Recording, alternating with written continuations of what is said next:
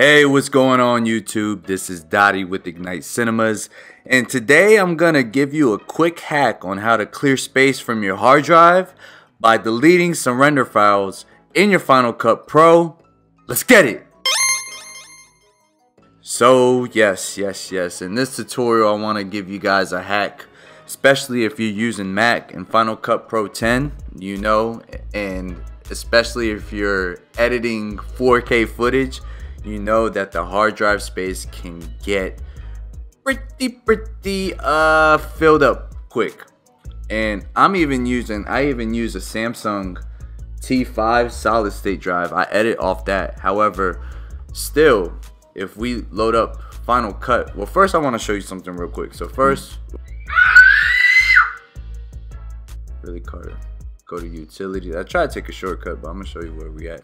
This utility and right now, my Mac has a terabyte that I edit off of.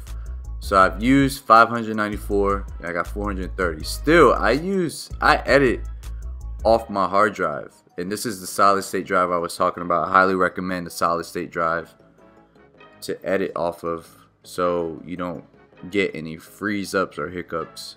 And that's my other hard drive there. But I want to show you what we got going on. So remember this, guys. All right. I'm gonna load up Final Cut. I have Final Cut loaded right here. As you can see, I am a pack rat and I don't like deleting projects, especially if I know that some of the settings are saved that I use on other projects. So check this out. But if we go up here to Untitled, and yes, I named my library Untitled.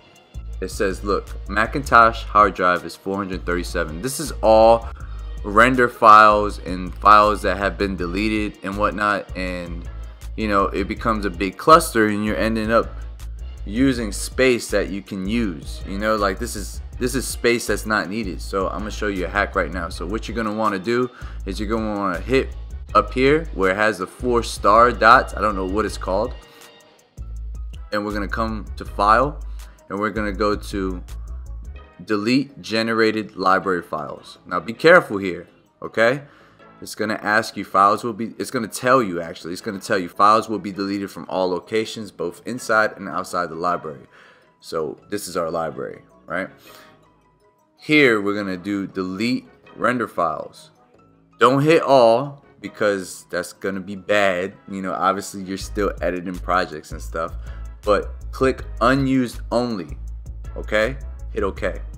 So any projects you deleted and you know stuff you're not using no more, it's gonna get rid of that render files. And look how big of a difference it's gonna make. I'm gonna load up Final Cut Pro 10 again. Look at that. We are 338.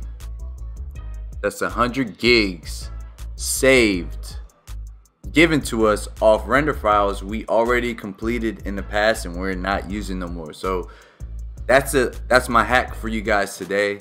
So i hope that was helpful for you.